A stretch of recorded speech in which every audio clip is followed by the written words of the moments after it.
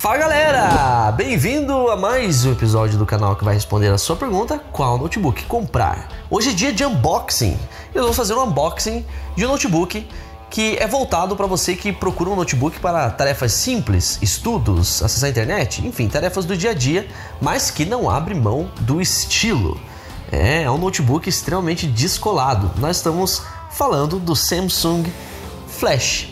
Então a gente vai ver, dar uma olhada nesse menininho aí, que é um notebook diferente e que mistura detalhes básicos e premium. Vamos dar uma olhadinha?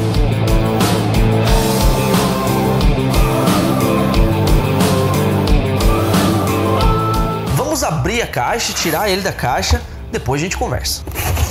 Então aqui nós temos de sempre, manuais, a fonte, bem compacta, bem simples. Daí aqui nós temos as proteções, né? Opa, já senti uma coisa diferente. Ele vem numa embalagem aqui, ó. Esse plastiquinho geralmente, os que os notebooks vêm é bem furreba. Esse aqui dá até para você guardar ele aqui dentro depois, hein? É muito fácil manusear esse, esse notebook. Então está aqui. É um notebook extremamente estiloso, compacto, é, leve e único, né? Primeira coisa que você percebe nele é realmente a textura na tampa, que tem essas bolinhas brilhantes. Realmente tem um charme bacana. Outra coisa é a textura que ele tem tanto na parte interna aqui do painel quanto nas laterais, que faz lembrar um tecido. É de plástico, mas faz lembrar um tecido. Então dá uma estilizada bacana no notebook. E o detalhe mais diferente, assim, digamos assim, que é as teclas. As teclas, elas vão ter esse design arredondado que faz lembrar uma máquina de escrever antiga. Então é um detalhe aí bem estiloso, bem bacana mesmo, que dá um charme gigante nesse notebook tão compacto. Deste modelo aqui vão ter três versões. Esse daqui que está comigo é mais especificamente o NP530XBB AD3BR, que vem nessa cor aqui coral, que é essa cor meio rosada. Nós temos outras duas opções, como o AD1BR, que vem na cor grafite, e o AD2BR, que vem na cor branca, né, um branco giz, e que vem com 128 GB de armazenamento. Os outros vêm com 64 GB de armazenamento. Eu já vou falar sobre esse armazenamento, que é um ponto bem importante. Então, como eu falei, ele vai ter essas teclas bem estilosas aqui na parte interna. Ele vem com um leitor biométrico que você pode utilizar para fazer login no seu computador, que né, aumenta aí a segurança na, na, utilização desse notebook, já que ele é um notebook especialmente voltado para pessoas que se deslocam bastante, né? Então, é bom que tenha esses recursos de segurança. Uma única coisa é que o touchpad ficou um pouquinho pequenininho, justamente por causa que ele tem né, um, um, pouco espaço aqui na parte interna, porque ele é bem compacto. Ele é um notebook com uma tela de 13 polegadas, ele vai ter 32,22 centímetros de largura, vai ter 21,95 centímetros de profundidade e de espessura ele vai ter 1,69 centímetro. E de peso, um pouquinho mais de 1 kg, 1,37 kg. Essa tela, apesar de, dela ser compacta, ela é uma tela de, um, de excelente qualidade. Ela tem resolução Full HD e ela não é IPS, mas ela é PLS, que é uma tecnologia específica da Samsung que promete ser tão boa ou até melhor do que as telas IPS. Então vocês veem que é um notebook bem bacana, bem diferente, bem estilizado. A Samsung aí, sem dúvida, tá de parabéns por essa inovação que a gente precisava nesse universo de notebooks, né? Todo mundo tem seu estilo e os notebooks geralmente estão vindo todos iguais. Então, parabéns Samsung, você mandou bem, hein? De conexões externas, nós vamos ter de um lado, lado direito, um leitor de cartões micro SD, já é, com suporte para o padrão UFS também, uma conexão fone e microfone, né, um combo de áudio. Nós vamos ter uma conexão USB 2.0, nós vamos ter aqui uma Kensington Security Slot, que é esse buraquinho aqui, que é um espacinho para você colocar uma travinha ali.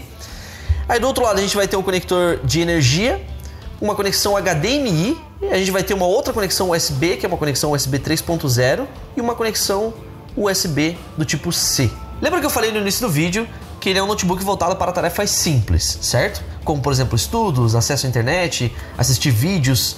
Isso porque ele tem uma configuração simples. Ele vai ter um processador Intel Celeron, mais especificamente o N4000, é, 4 GB de RAM e armazenamento em eMMC de 64 GB ou 128 GB. 128 GB vai ser o modelo AD2BR de cor branco giz.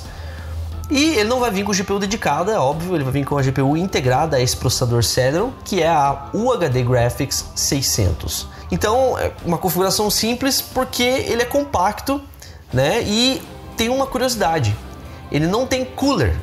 Exatamente, ele não tem nenhuma ventoinha. Ele usa somente é, dissipação mesmo para resfriar o notebook. Então o notebook não esquenta mesmo. E por ele não ter ventoinha, ele é extremamente silencioso. Esse tipo de armazenamento eMMC é um, um tipo de memória flash.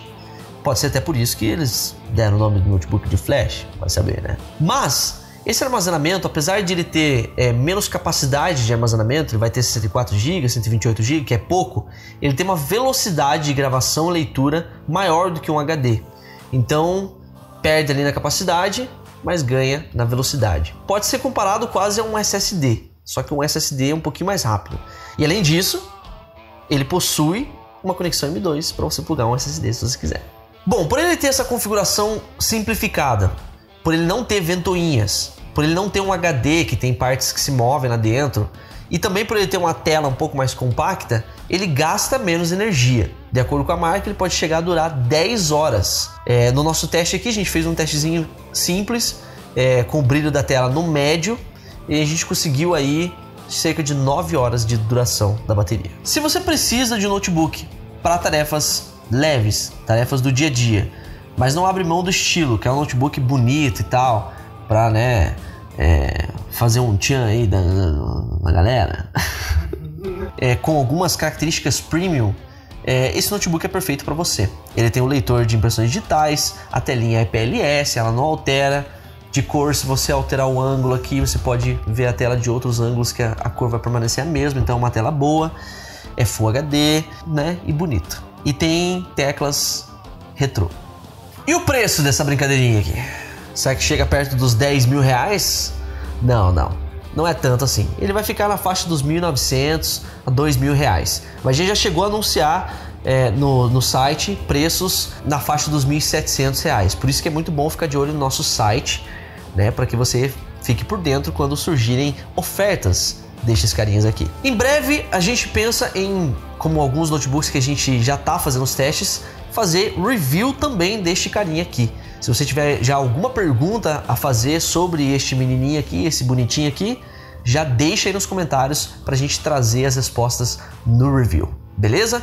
Eu espero que você tenha curtido o vídeo. Esse é um excelente momento para você deixar o seu like aí embaixo do vídeo. Não custa nenhum segundo. Pode, pode, pode ver aí, não custa um segundo. Para nós, vale muito. Se inscreva no canal se você não for inscrito, seja bem-vindo.